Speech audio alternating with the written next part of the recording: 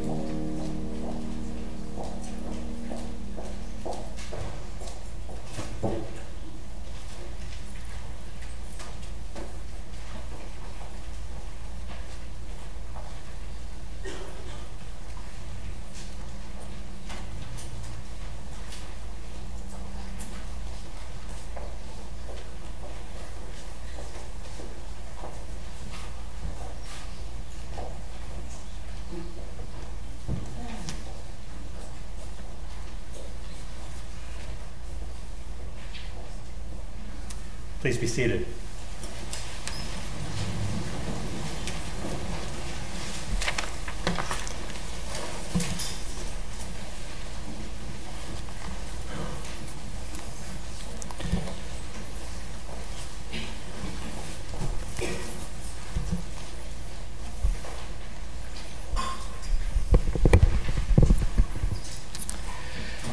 It's my privilege and my joy to welcome all of you to the memorial service, this witness to the resurrection, and this celebration of life for Mary Grace. Your presence here is a blessing and a balm to the family and really to all of us who are grieving and gathered to celebrate Mary Grace. Hear now these words from Holy Scripture. Jesus said, Come to me, all you that are weary and are carrying heavy burdens, and I will give you rest. God is our refuge and strength, a very present help in trouble. Therefore, we will not fear. I am convinced that neither death, nor life, nor angels, nor rulers, nor things present, nor things to come, nor powers, nor height, nor depth, nor anything else in all creation will be able to separate us from the love of God in Christ Jesus our Lord. If we live, we live to the Lord, and if we die, we die to the Lord. So then, whether we live or whether we die, we are the Lord's. Blessed are the dead who die in the Lord, says the Spirit. They will rest from their labors, and their deeds will follow them. Let us pray.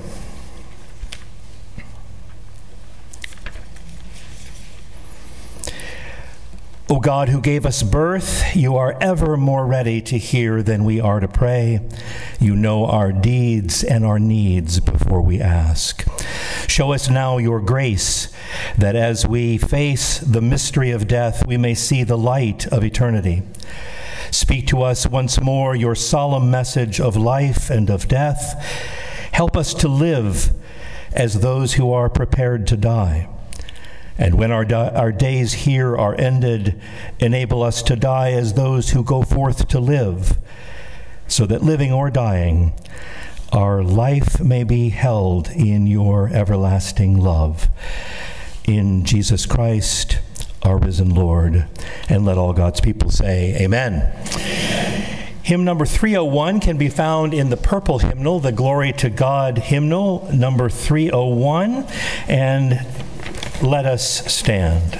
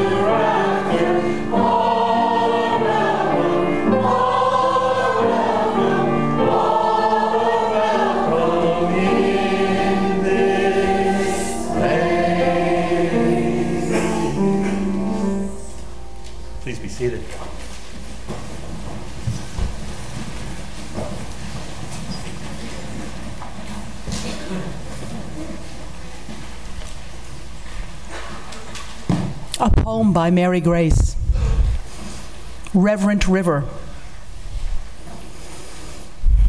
I have learned to genuflect by watching the cypress trees hobble into the river, their knobbly, arthritic knees sticking awkwardly out of the water, but kneeling nonetheless with the eagerness of sinners in need of baptism.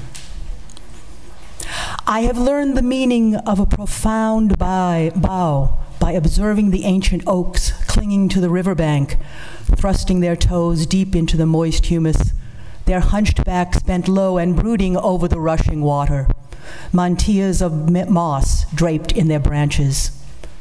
Who knows what prayers the river and the oak whisper to one another?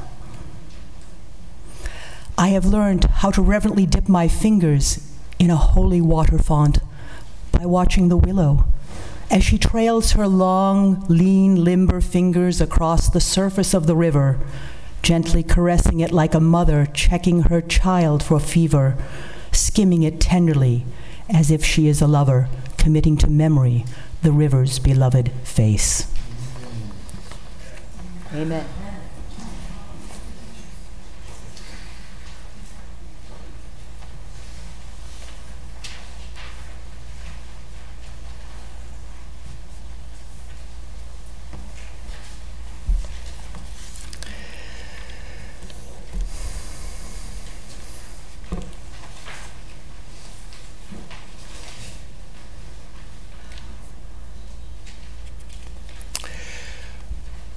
Four friends of Mary Grace have, have asked to speak this morning, uh, and I'll, I'll ask them to come forward in this order. First, Carla Trent, then Wen Yuen Wong, then Wendy Taylor, and then Dorsey Chambly.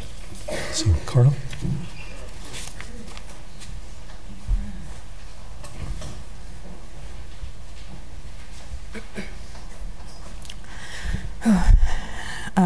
To everyone that is in attendance today.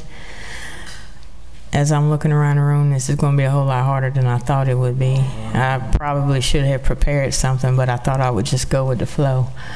Um, I just met Mary Grace back in February, but when I found out that she had died, I haven't had a death hit me that hard in 26 years since my mother died.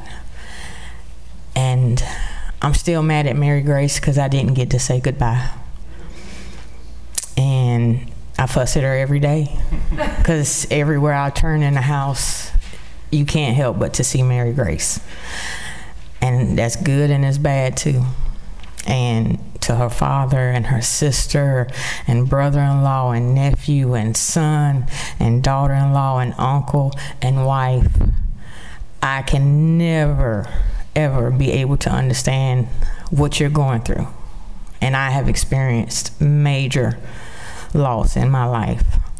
But Mary Grace was the kind of person where you couldn't help but to love her. You, her laugh was just so cartoonish that it would make you laugh. I mean, I, I just couldn't even believe it the first time I heard it. I was like, no, that's fake. She's just nervous. But then the more that she would laugh, I was like, that's for real. She could be in movies, she could do voiceovers.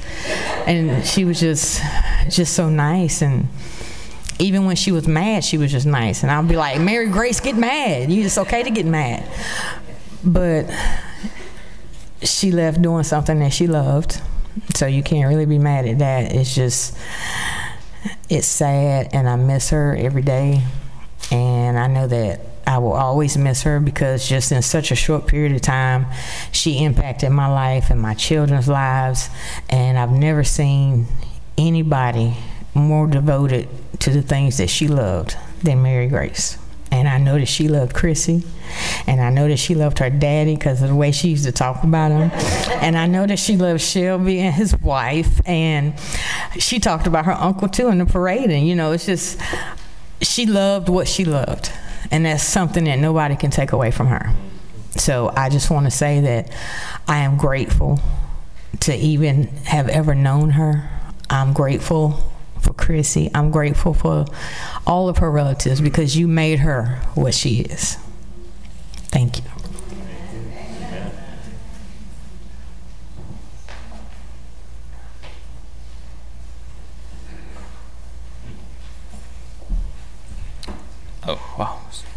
Hello, everyone.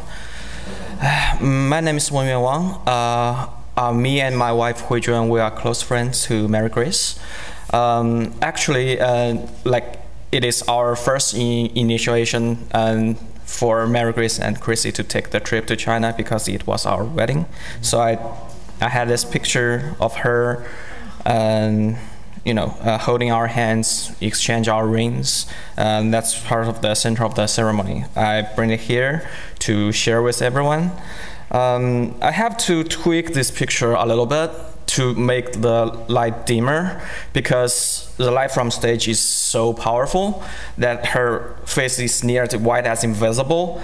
Um, yeah, so I, and I say like that's too much like a shaman so so so let's turn down it a little bit, and you know so which makes ours like the face is really red, but we don't care about that. So. But talking about shaman, it kind of remi reminds me back, like um, three years back, uh, um, when Huijuan was desperately looking for a boy boyfriend. At that time, um, that Mary Grace cl uh, claimed that she has the secret witch power and she can, you know, hunt for a boyfriend for her. And there I was at the uh, at the Thanksgiving dinner. And actually, um, it's it's not um, well. Um, I, I remember Hui Juan tell me that in in that night, and, she and Hui Juan are, you know, uh, washing dishes, and she secretly told Hui Juan that, hey, this boy, he had the thing for you. Well, um, apparently I didn't, but you know, um, but the thing is, um, it's a mark of word. Sometimes you can link to someone, so it's a love of seed that you plant into someone's heart so they begin to meet with each other. So that's the time me and Hui Juan met with each other and begin our journey.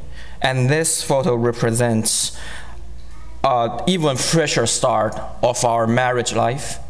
So uh, Mary Grace was there to witness the whole process.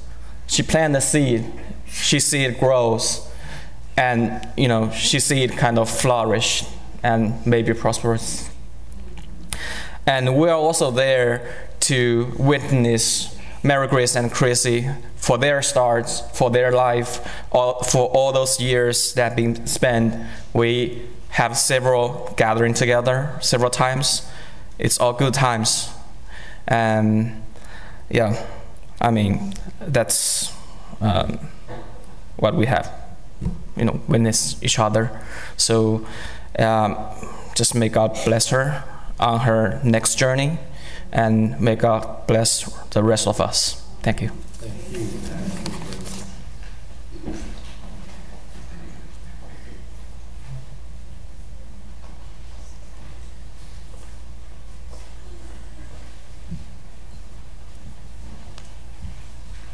Hi, friends of Mary Grace.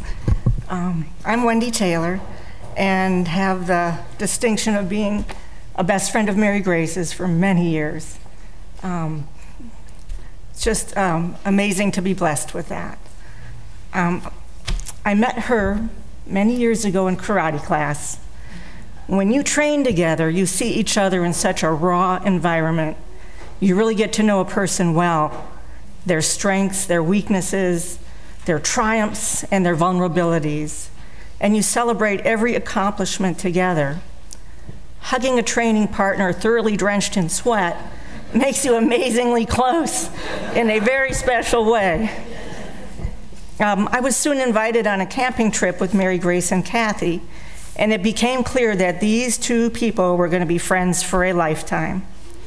The real fun began when Mary Grace realized I had two blow up kayaks.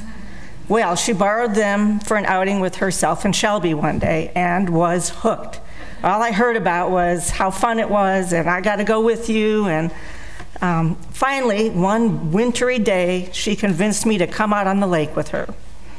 After a blustery, frigid day, which the water froze our clothes stiff, we came inshore, teeth chattering, probably near hypothermia. And yes, it was so much fun. and I knew there was going to be a wild ride with this one. well, payback is sweet. I did get to reciprocate the first Arctic paddle by talking her into an afternoon paddle on the deep river. If we only had some sense of river time then. It was a beautiful afternoon, only it got later and later, and darker and darker, and soon it was pitch dark. We couldn't even see the hands in front of our face. We had to stay close together, talking to each other, so we wouldn't drift away. All we saw was a shimmer of the water in the middle of the, of the river to keep us on track. The real excitement came when I realized there was a waterfall up ahead. I yelled to Mary Grace, Hang on, rapids coming up. Complete silence. then, what? Wait, stop! And maybe a few other choice words. Well, we made it through. we hugged in the darkness and promised to do it again. maybe just starting a little early next time. The adventures were really just beginning as Kathy, Mary Grace, and I graduated to real kayaks, and we spent as much time as we could camping and paddling. We discovered quiet coves with turtles, birds, fish, and otters. We edged our kayaks into blue heron rookeries and watched the babies flap on the nests. These were tucked away in secret places very few people knew about. We found the biggest beaver dam I've ever seen we sat in waterfalls sipping margaritas for hours. we watched so many amazing sunsets shimmer on the water, although we knew not to arouse Mary Grace for the sunrises, because all you would get was a grumpy no from her tent. We enjoyed gourmet dinners from the camp stove. We sat around blazing fires, take, talking the night away, and her laugh was always bubbling out. She couldn't help herself and had to pick up every little baby frog she found. my most favorite memory, which is in my heart forever, was floating out in the lake at night, laying down in our kayaks with our eyes to the sky, while hundreds and hundreds of shooting stars arced across the sky. Owls were hooting, bats were zooming, chirping frog and crickets completed the show. It was simply magical. I didn't think life could get much better, but Chrissy started joining our campouts and soon became an irreplaceable musketeer around the campfire. One weekend, Kathy and Mary Grace had gone on a day paddle with some new people. And guess what? They're planning on going 200 miles. They're going to raise funds for cancer research. Doesn't that sound fun and worthwhile? Uh, well, yes. Do you think we can really do that? So, Hope Floats became the next adventure and has continued to be a yearly event for eight years. Kim and Chris Tart and all our Hope Floats family have become so close, with Mary Grace a huge part of the fun and stories. Mary Grace's antics with Hope Floats crew will have to be published as a book. It's far too much to talk about. But all of us have special memories of her on the tour, and we keep them close in our hearts. On the Hope Float site, we all have a page with descriptions of ourselves. One part is to say something about what motivates you as a person. And I'd like to share what Mary Grace wrote. It's by Robert Frost. Life is not a journey to the grave with the intention of arriving safely in a pretty and well preserved body, but rather to skid in broadside, thoroughly used up, totally worn out, and loudly proclaiming, Wow, what a ride. So well done, Mary Grace. I've had so much of you. Whatever you did, you were all in. Your soul always shined a little brighter than most. You were one of the few really best friends a person gets in a lifetime. I'm so lucky to have all the adventures we had together. I hope in heaven you found a waterfall to sit in and a zillion shooting stars to watch. I will always be grateful to you and We'll all see you again.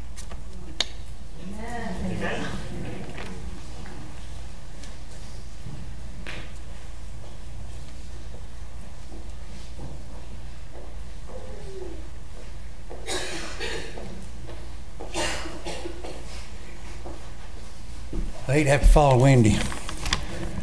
My name's Dorsey Shambly. I'm, wow, there's a big crowd here.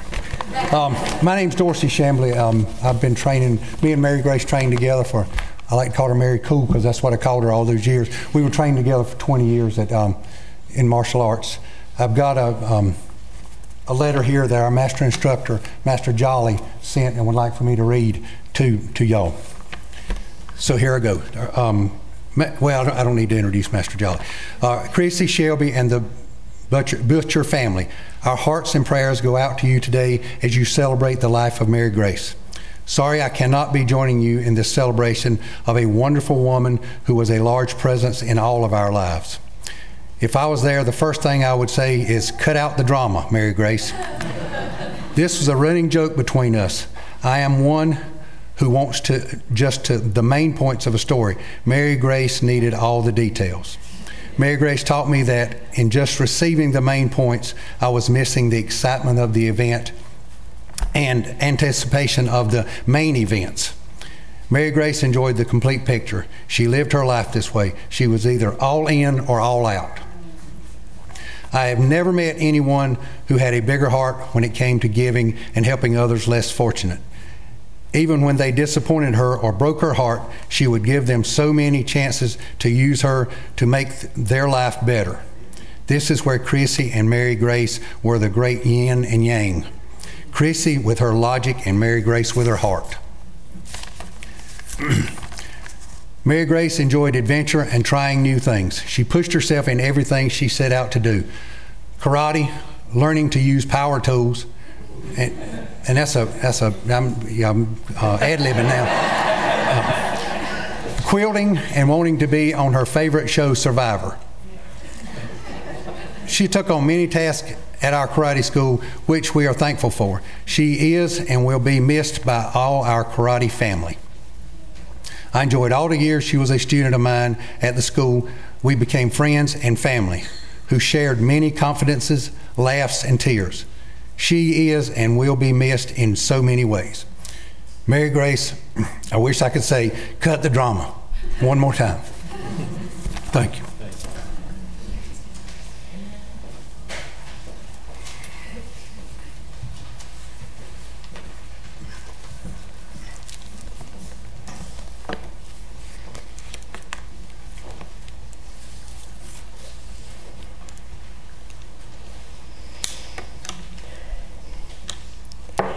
The lection from the Hebrew Scriptures is from the book of Psalms, the 16th Psalm.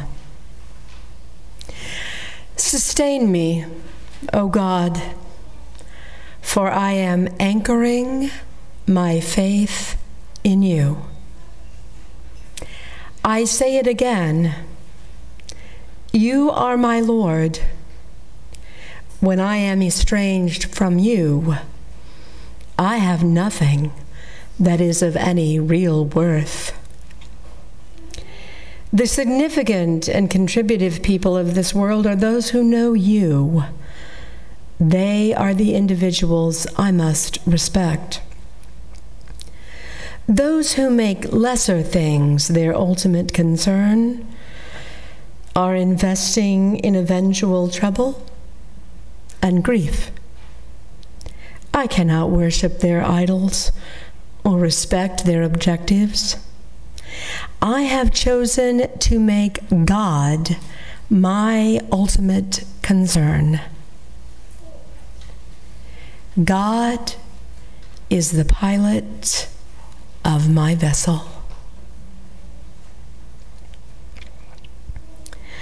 Thus, the course before me will lead to ultimate fulfillment. I am guaranteed an inheritance of infinite value. I look to God as my chief counselor, even in the darkest of night. God is ready to teach and guide me. I need only to recognize God's perpetual presence because God continually surrounds me. I shall not lose my way. Is it any wonder that I am happy? Even my humanity, my tangible body, rests in the blessed realization of this security. God will keep even my human self from the destructive clutch of evil. You do show me the paths I must take. Within your all embracing presence, there is genuine fulfillment. In my relationship with you, I discover incomparable and eternal joy.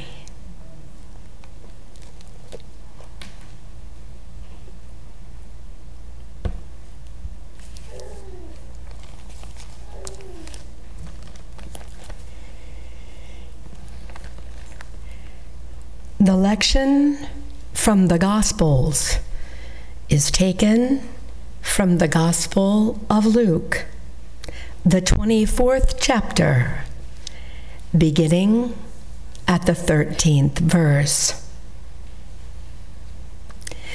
That very same day, two of them were on their way to a village called Emmaus, seven miles from Jerusalem.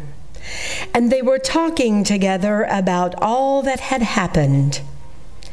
Now, as they talked this over, Jesus himself came up and walked by their side, but something prevented them from recognizing him.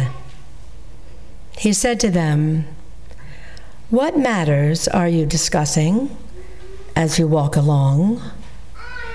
They stopped short, their faces downcast. Then one of them, called Cleopas, answered him,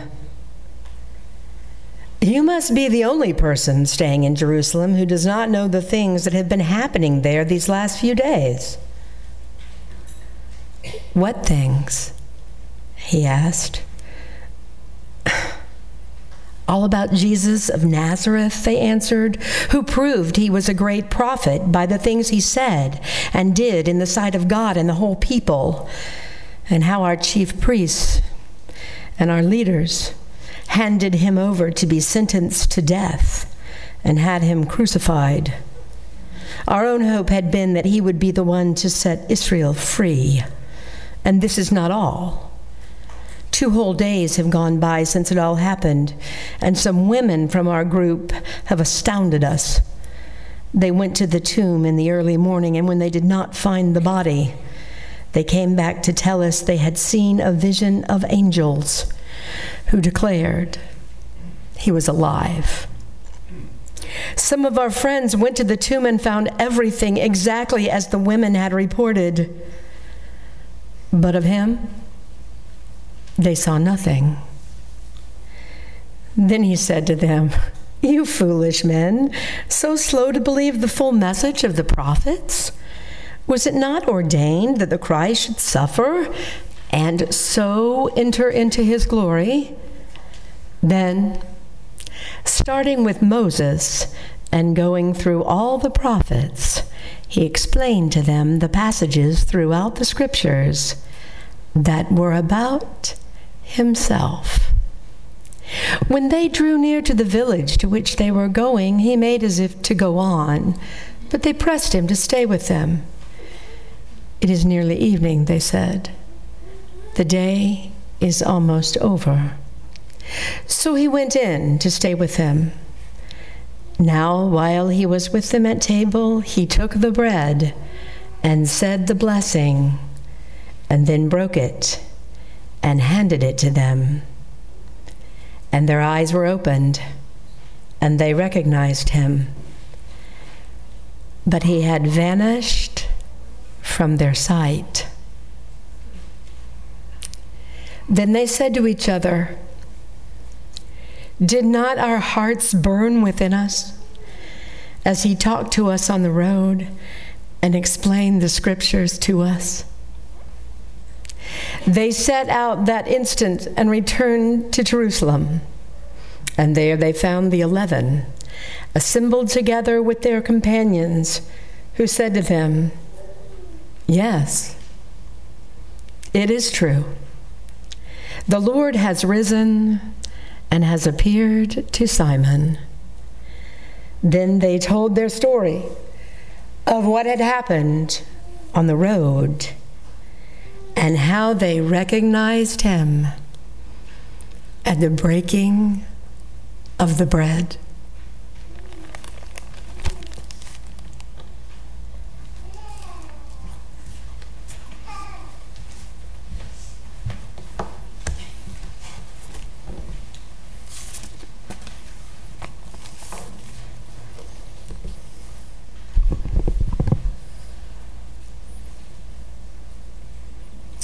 Let us pray.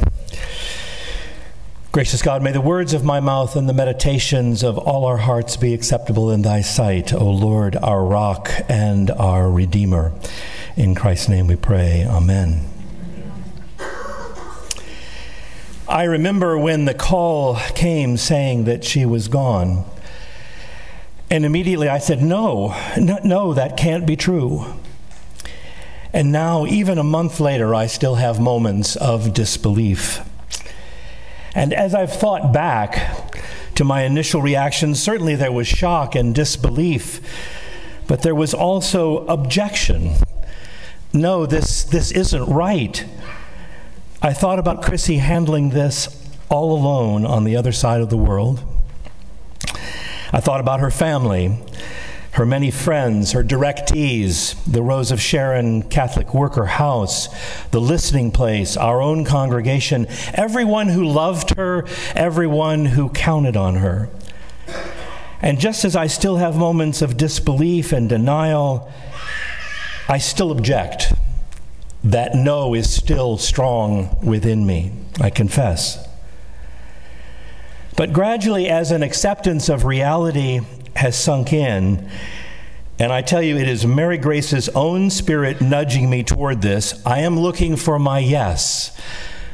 The no is still strong within me, but I am looking for my yes. Looking for what it means for all of us, each in our own way, to find our yes in all of this. And of course, being together like this is so important. It helps immeasurably. Seeing so many others around us in one place here on holy ground, and so many others she touched who are with us in spirit today, it helps us celebrate who she was and all the ways she gave of herself so generously. Mary Grace herself was such a vibrant yes in our lives yes to life itself, yes to all its wonders and its struggles, yes to faith and serving others, yes to laughter and compassion, yes to love, yes to God. And she is as unswervingly dedicated to us finding our yes and living it forward as she ever was. If it is even possible, even more so now. The Episcopal theologian and peace activist William Stringfellow experienced a grievous loss in his own life the sudden death of his life partner and husband, Anthony Towne. He wrote a book about it entitled My Experience in Mourning. For him, grief was the total experience of loss and with the grief came the full range of raw emotions fear, abandonment, anger, melancholy, bereftness, all suffered privately within oneself, he wrote. But for him, mourning was about something different, what he called the liturgies of recollection. And he found there affection and honor and deep gratitude. Whereas grieving is about weeping and wailing and gnashing of teeth, which does, thank God, eventually subside, mourning is about rejoicing in the Lord, he wrote. And it can go on for a very long time and be a beautiful and creative thing in our lives. Mourning Anthony, he said, kept me grounded in the community the two of us had shared.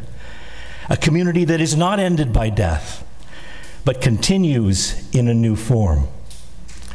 Mourning was for him an exquisite, bitter, bittersweet experience, something he actually came to enjoy. He wrote, I do not expect the grief to ever be fully dissipated, but I do not want the mourning to ever be completed. My hope and prayer for all of us is that the sharp pangs of grief will subside, and naturally that will take longer for those who were so intimately connected to her. But my prayer is also that our mourning, which has celebration and honoring in it, which has joy and gratitude in it, alongside the sorrow. That our mourning will go on for the rest of our lives, that she will never be forgotten, and that the values she embodied will continue being lived out in the world in and through us. As Allison was reading the Road to Emmaus story, one of Mary Grace's favorite scriptures, it occurred to me that Jesus was helping Cleopas and his companion move from grief to mourning, from devastating loss to a creative participation in his continuing life. Their hearts burned within them. They burned with recognition. They burned with excruciating loss. And yet they burned with an undeniable presence, an undeniable power, an undeniable yes. He was helping them move from their no to their yes. And as we all move toward finding our yes in the wake of Mary Grace's death, I invite you to listen to the words of Edward Hays and hear them speaking to you as if from Mary Grace's own spirit. My love for you is truly timeless, beyond the touch of bony death. I leave myself not to the undertaker for decoration in his house of the dead, but to your memory with love. I leave my thoughts, my laughter, my dreams to you, whom I have treasured beyond gold and precious gems. I give you what no thief can steal the memories of our times together, the tender, love filled moments, the successes we have shared the hard times that brought us closer together, and the roads we have walked side by side. I also leave you a solemn promise that after I am home in the bosom of God, I will still be present. Whenever and wherever you call on me, my energy will be drawn to you by the magnet of our love. Whenever you are in need, call me. I will come to you with my arms full of wisdom and light to open up your blocked paths, to untangle your knots, and to be your avenue to God. And all I take with me as I leave is your love and millions of memories of all that we have shared. So I truly enter my new life as a millionaire. Fear not nor grieve at my departure, you whom I have loved so much for my roots and yours are forever intertwined. Mary Grace, we will miss you, but we thank God for the gift of your life. And we rejoice with you in the Lord. We rejoice that the angels have led you into paradise, that you have now joined the church triumphant. And we rejoice in the Lord with you that you have heard the homecoming words of our loving God. Well done, good and faithful servant. Enter now the joyous company of all the saints in glorious light. Let all God's people say, Amen. Amen. Let us pray.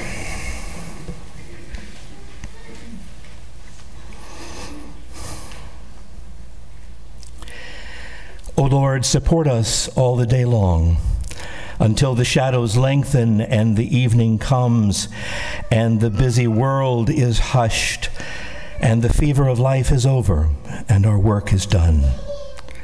Then, in your mercy, grant us a safe lodging and a holy rest and peace at the last. O God, you alone are immortal, the creator and maker of all. We are mortal, formed of the earth, and to earth shall we return. This you ordained when you created us, saying, You are dust, and to dust you shall return. All of us go down to the dust, yet even at the grave we make our song, Alleluia, Alleluia, Alleluia. Give rest, O Christ, to your servant, Mary Grace, with all your saints, where there is neither pain, nor sorrow, nor sighing, but life everlasting. Amen. This commendation is one of the oldest in Christian tradition, dating back to the very early days of the Christian movement. Into your hands, O God, we commend Mary Grace. Acknowledge, we humbly pray, a sheep of your own fold, a lamb of your own flock, a sinner of your own redeeming. Receive her into the arms of your infinite mercy and into the blessed rest of everlasting peace. And let all God's people say, Amen. The Lord bless you and keep you. The Lord be kind and gracious to you. The Lord look upon you with favor and give you peace. Let all God's people say, Amen. There is a beautiful reception following in the fellowship hall, a time to gather, to eat, to embrace the family, to embrace one another. Uh, there will also be others who will share personally from their own experience with Mary Grace. So we are dismissed.